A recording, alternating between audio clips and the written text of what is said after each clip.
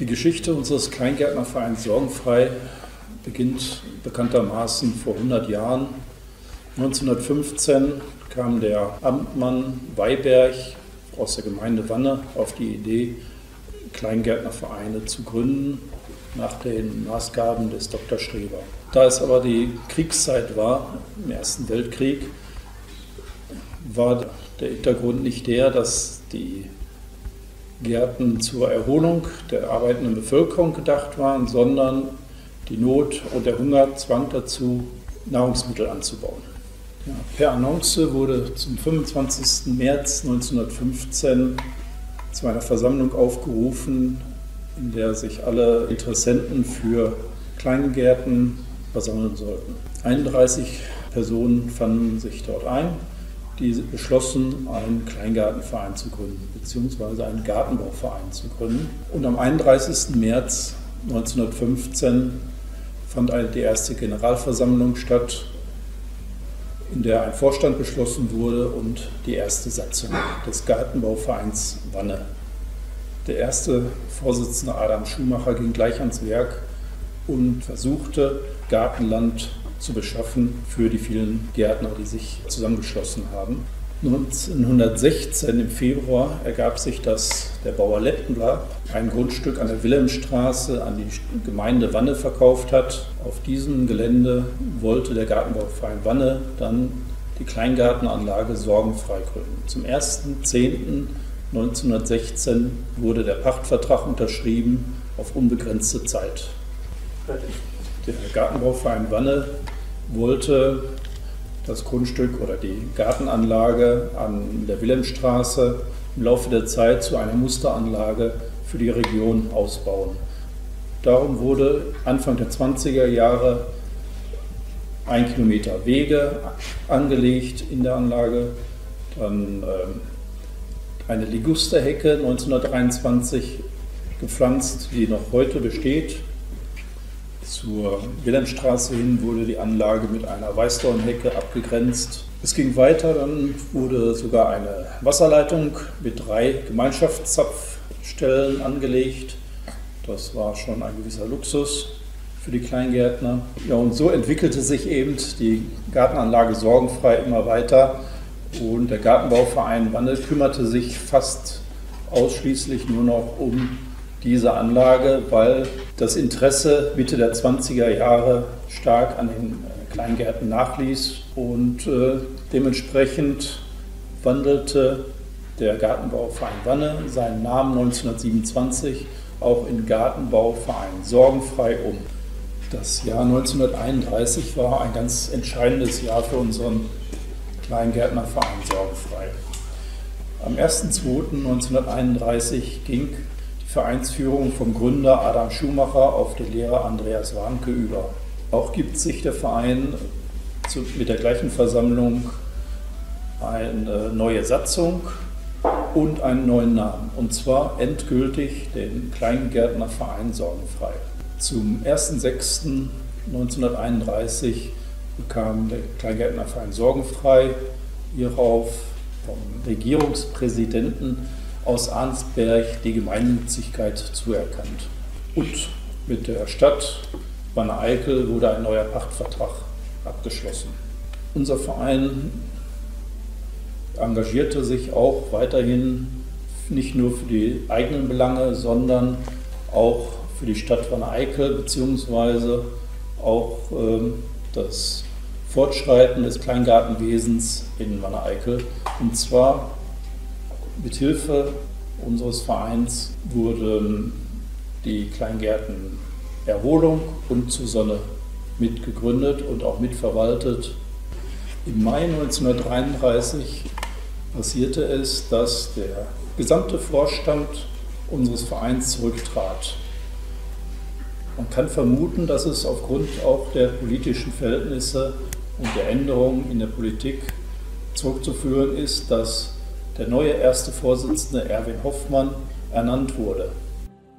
Denn auch das Vereinswesen wurde auf Linie gebracht, ob Fußball oder Gartenverein. Jede Organisation wurde in den Dienst der NSDAP gestellt, häufig sogar freiwillig. Auf Wunsch des Provinzialverbandes und der Stadtverwaltung versammelte der erste Vorsitzende Erwin Hoffmann am 31.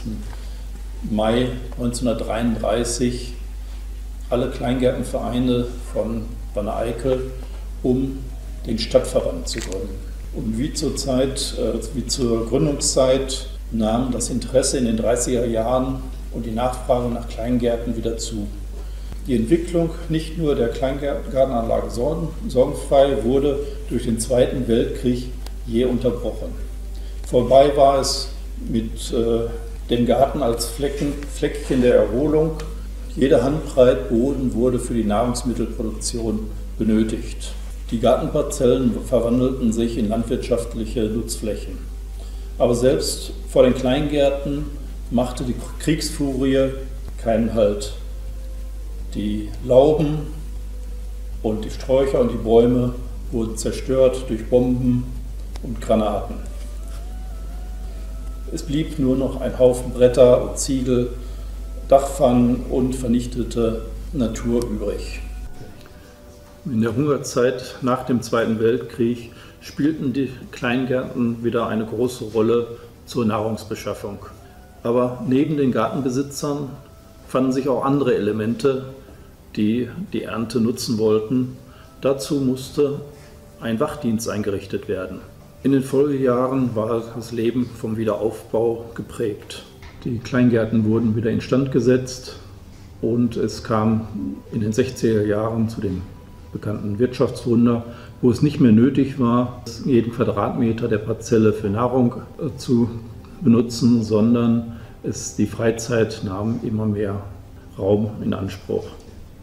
Jetzt kam es auch zu einem der ersten Großprojekte der Vereinsanlage. Die Versammlungen und Vereinsfeste fanden bisher immer in der Umgebung bei verschiedenen Gaststätten und Vereinen statt. Die Kleingärtner von Sorgenfrei wollten nun ein eigenes Vereinsheim bauen. Dazu beschlossen am 29.09.1957 ein Schulungsheim zu errichten. Der Bauplatz war vorgesehen, wo bisher drei Gartenparzellen standen. Diese wurden jedoch vom Verein aufgekauft. Am 14.04.1958 konnte der Grundstein gelegt werden. Die Finanzierung erfolgte mit Zuschüssen des Landes Nordrhein-Westfalen, der Stadt Eyck und ein Teil musste dann in Eigenleistung bewältigt werden. Am 17.01.1959 konnte die Einweihung feierlich begangen werden. Der Oberbürgermeister Weber war anwesend und sämtliche Vorsitzende aller Kleingartenvereine von Wanne Eickel. Nun konnte gefeiert werden. Kinderfeste, Erntedankfeste, Sommerfeste konnten im eigenen Heim stattfinden.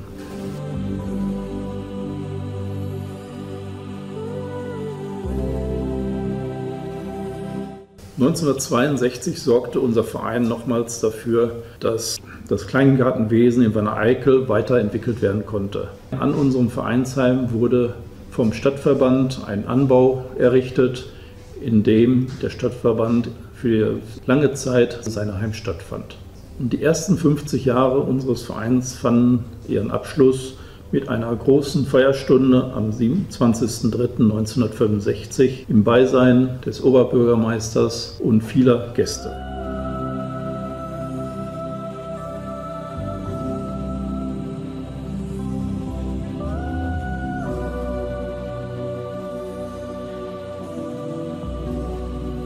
Ja, bis zum Jahre 1973 hatte Sorgenfrei eine Sickergrube und das war nicht mehr zeitgemäß. Also wollten wir als öffentliche Kanalnetz. Da haben äh, sorgenfreien Antrag bei der Stadt Wanne-Eickel gestellt auf äh, Bewilligung eines Zuschusses, den die Stadt auch genehmigt hatte. 15.000 D-Mark wurden bewilligt, sodass wir anfangen konnten, aber wir mussten alles selber machen, da die Wege hier zu klein waren. Wir konnten keine Firma beauftragen, uns hier den Weg aufzumachen.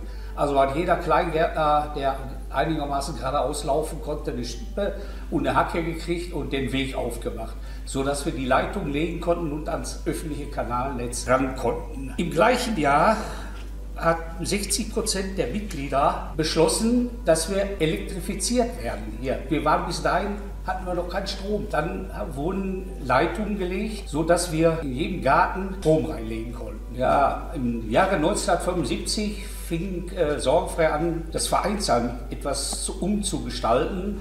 Es wurde eine neue Toilette angebaut, die auch eine Wasserspülung hatte. Die komplette Inneneinrichtung wurde 1978 renoviert und bekam eine regelbare Saugleistung für einen Lüfter, sodass wir hier miefige Luft abziehen konnten. 1980 bekam jeder Kleingarten hier eine Wasseruhr, sodass wir den Wasserverbrauch ablesen konnten.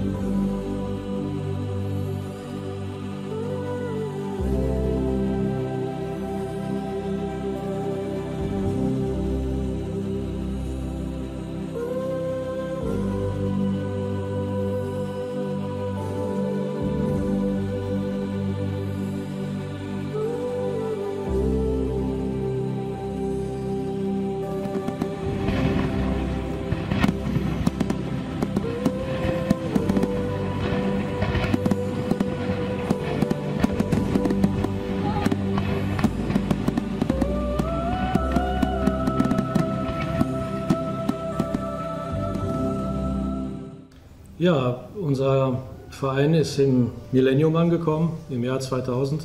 Wir sind in diesem Jahr 85 Jahre alt geworden. Wenn ich wir sage, meine ich den Verein. Es ist einfach so, dass man sich äh, aufgehoben und als Mitglied äh, immer wieder äh, tätig und, und begleitend fühlt. Und auch aus diesem Jahr gab es einen Grund und mit Sicherheit auch einen Anlass, ähm, weiter den Garten zu entwickeln, den Verein zu entwickeln, die das Gelände zu entwickeln. Wir haben uns dazu entschlossen, äh, äh, von unserem Gartenfreund Gerd Malinger von der Parzelle 83 ein Stück der, des Geländes abzutrennen und auf genau diesem Stück ein Feuchtbiotop einzurichten. Dieses Feuchtbiotop sollte wir auch später entdeckt haben oder festgestellt haben, auch dazu beitragen, dass wir in den Bewertungen immer oben mit angelangt sind. Es wurde gebaggert, geschaufelt, gehoben, geschleppt. Es sind Findlinge angeschleppt worden. Es war auch eine Stelle, an der sich der Stadtverband vielleicht auch für dieses Jubiläum geschichtlich markieren oder festlegen wollte durch einen Gedenkstein. Es kam dazu, dass wir diesen Stein äh, extra präpariert haben, mit, einem, mit einer Kernbohrung versehen, eine Hülse installiert haben, die dann fest verschlossen wurde mit dem Inhalt, der vorher in diesem Vereinsheim offiziell gefeiert und veröffentlicht wurde. Wir haben äh, eine Urkunde von Dieter Klar eingeschraubt, das ist eine Kupfer- oder eine Messinghülse. Der Stein wurde verschlossen mit einer gravierten Platte, die heute sichtbar ist und hinter dieser Platte ist eben diese Kernbohrung, in der sich die Hülse befindet. In diesem Jahr war es auch dazu gekommen, dass die Entscheidung, äh, nachdem Dieter klar mit dem Stadtverband aus unserem Anbau ausgezogen ist, ähm, dass wir für rund 27.000 D-Mark von uns übernommen wurde, sind auch dazu übergegangen, die als äh, Erweiterung für unsere Küche, vor allen Dingen aber auch als Büro für den Vorstand einzurichten und umzubauen. Die Stromversorgung, die Zuleitung, die Installation, die ist dann auch neu aufgebaut worden, weil es eben ein zusätzlicher Raum für diese Art von Gemeinsamkeit entstanden ist.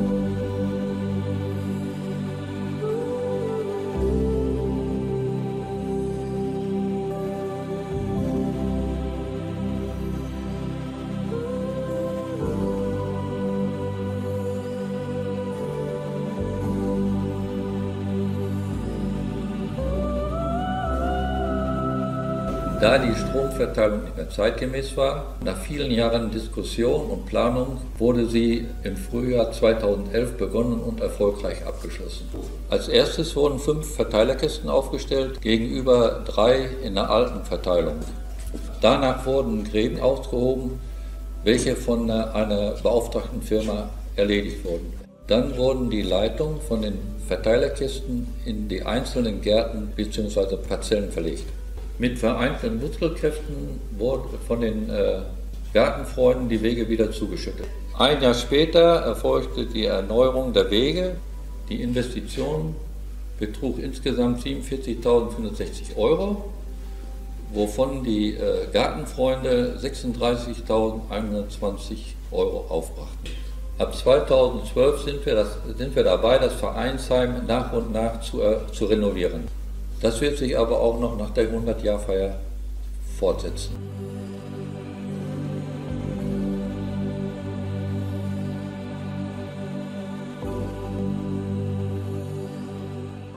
Unter anderem war es zu der Nominierung zum Landeswettbewerb gekommen, an dem wir Silber ausgezeichnet wurden. Das führte dazu, dass wir am Bundeswettbewerb teilnehmen konnten. Wir haben aufs Höchste gehofft, sind aber ganz unbefangen und voller, voller Freude mit einer tollen Truppe hingefahren, bis wir an dem Tag der Veranstaltung tatsächlich erfahren konnten, dass wir Gold gewonnen haben. Das war einfach ähm, ja, Liebe zu diesem Verein, der, sich, der es wert ist, äh, dahin gebracht zu werden, wo wir, wir alle, wir alle Vereinsmitglieder den hingebracht haben. Es ist mir wichtig zu sagen, dass wir es alle waren und können unser 100-jähriges äh, mit einer ganz besonderen Auszeichnung feiern, den Bundeswettbewerb in höchster Form gewinnen konnten.